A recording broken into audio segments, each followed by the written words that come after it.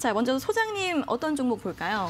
어, 저는 삼성전자 이제 살 때가 됐다. 오. 이렇게 좀 말씀드리고 싶습니다. 네. 어, 삼성전자가 현재 8만 원대에 이제 그 초입까지 진입을 해 오면서 어, 장기간 횡보하면서 정말 삼성전자에 대해서 많이 답답하다라는 느낌들을 받으셨을 텐데요. 두 가지 관점에서 좀 살펴보도록 하겠습니다. 먼저 기본적 분석에 대한 fundamental에 대한 부분들을 보면 우리가 이제 1분기 실적이 9조 대 초반 나오면서 surprise라는 단어를 쓰기가 조금 내심 조심스러웠었습니다. 하지만 어, 어제 나온 그 뉴스들을 보게 된다라면 어, 2분기 때는 10조를 달성할 것이다. 지금 현재 성수기가 아님에도 10조 대의 영업이익을 달성할 것이다라는 어, 얘기들이 이제 조심스럽게 나오기 시작했습니다. 아 그리고 이제 사- 공격적인 증권사 같은 경우는 3분기 때는 10조를 훨씬 넘어서는 어, 그러한 하반기 때 어, 성수기 때 그런 숫자가 나올 것이다 이런 얘기가 나오고 있죠. 어, 그렇다면 시점을 잡을 때는 이제 기술적 분석을 사용해야 될 것 같습니다. 현재 120일 이동평균선이 올라오고 있는 선과 어, 그다음에 각종 이동평균선이 저항 대로 적용하고 있는 선이 곧 만나게 됩니다. 그게 이제 다음 주면 될 것으로 보여지고요. 어, 따라서 어, 그것을 만나고 나서 위로 튈지 아래로 튈지에 대한 것들을 어, 베팅을 하셔야 되는데 이제는 어느 정도 그 재료들이 반영이 되는 기술적 분석에 의해서 본다라면 어, 다음 주 초반에는 공략이 충분히 가능하지 않겠는가. 그리고 심리적으로도 8만 원대에 대한 부분들은 충분히 지지가 될 것으로 보여지기 때문에 어, 매수 가능 시점이 됐다. 이렇게 좀 말씀드릴 수가 있겠습니다.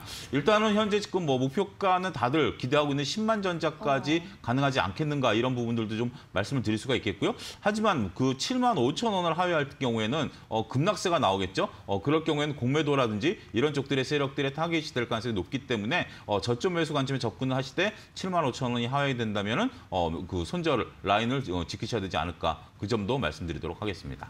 네, 삼성전자가 나왔네요. 이제 목표가를 10만 전자로 제시해 주셨는데 네. 좀 다- 장기적인 관점에서 볼까요?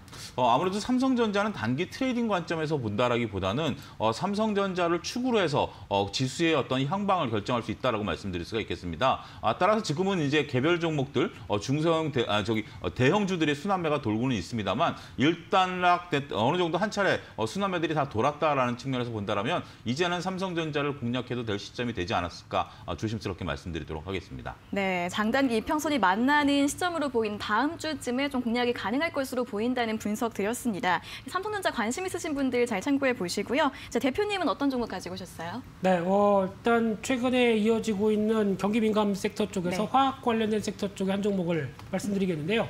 유니드라고 하는 회사인데 네. 쉽게 말씀드리면 칼륨 맛집입니다. 아. 네, 어, 가성 칼륨 글로벌 1위고요. 네. 어, 탄산 칼륨까지 합치게 되면 매출의 한 거의 70% 가까이 차지하고 있는데 또 MDF라고 그러죠. 어, 보통 이게 어, 어떤 목재 관련된 쪽에서 어, 잘게 부셔서 다시 합판을 만들어서 쓰는 대표적인 건설, 뭐 가구 이쪽에 많이 쓰이는데 어, 특히 칼륨 가격이 강세입니다. 자, 그러다 보니까 당연히 수혜를 받고 또 칼륨 쪽을 생산하다 보면 부산물이 염소가 나오는데 염소가 저희가 아는 그 염소가 아니고요. 네, 화학 쪽의 염소죠. 네. 어, 그쪽이 PVC를 만드는 데 들어간다라고 하게 되면 또 PVC 중국 가격 보게 되면 요즘 급등하고 있죠. 그러다 보니까 어, 또 목재 가격도 요즘 어, 미국에서 건설 경기 좋다 보니까 최고치 기록하고 있습니다. 이런 쪽에서 어, MDF 쪽 당연히 실적 좋을 것 같고 어, 이 제품 가격들 좋다 보니까 실적이 잘 나오는데 1분기가 실적 호조세였습니다. 영업이익이 438억으로 125% 이상 증가를 했기 때문에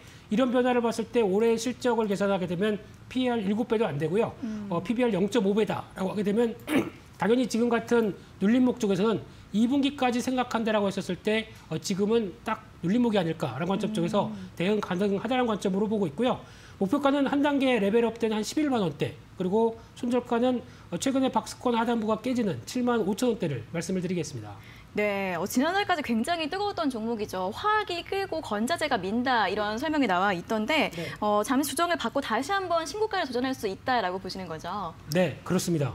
음. 빙고입니다. 네, 그러면 조정 시 매수 전략으로 좀 접근해 봐도 괜찮겠죠? 지금이 조정인데요. 네, 그러다 보니까 예, 조정 보이는 지금 같은 때 어, 살짝 살짝 사오시면은 나중에 도움이 될 것 같습니다. 네, 알겠습니다. 화학과 그리고 좀 건자재 쪽에서도 좀 모멘텀이 있을 것으로 보이는 유니드 어, 매수가 8만 3천 원, 목표가는 11만 원으로 제시해 드렸으니까요. 다음 주 시초가 매매 전략 세우실 때 참고해 보시면 좋을 것 같습니다. 자, 두 분 오늘 좋은 분석 잘 들었습니다. 고맙습니다.